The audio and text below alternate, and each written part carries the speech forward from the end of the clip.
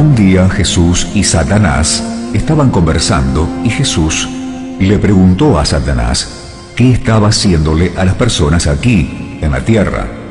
Él respondió, me estoy divirtiendo con ellas, les enseño a hacer bombas y a matar, a usar armas, a odiarse unas a las otras, a casarse y divorciarse. Les enseño a usar de los niñitos, enseño a los jóvenes a usar drogas, a beber y a hacer todo lo que no se debe y lo que los conducirá a la maldición futura. Estoy divirtiéndome mucho con ellos. Jesús preguntó, ¿y después? ¿Qué vas a hacer con ellos?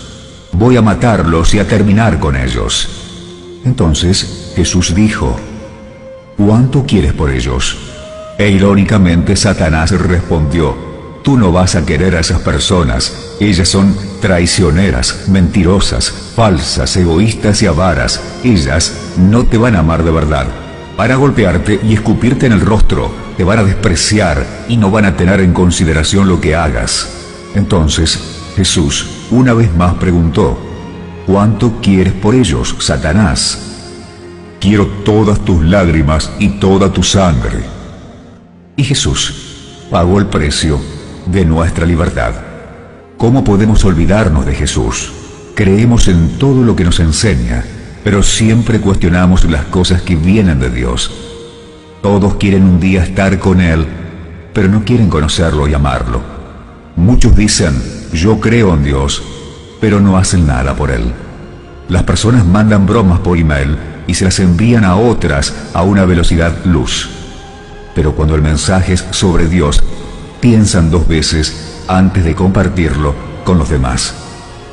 Dicen a todo momento, ¿cuál es el equipo por el que hinchas? ¿Cuál es el auto que más te gusta? ¿Cuál es tu banda preferida? ¿Tu música predilecta? Sin embargo, piensan dos veces antes de decir, soy de Cristo y amo a Dios. Aparentan ser invisibles. ¿Será que cuando usted termine de oír este mensaje, tendrá el coraje de enviárselo a un amigo? ¿No está seguro de lo que las personas pensarán de usted si lo envía? Hablar sobre Jesucristo no es un asunto que las personas quieran oír, solamente quieren a Jesús cuando están en grandes apuros.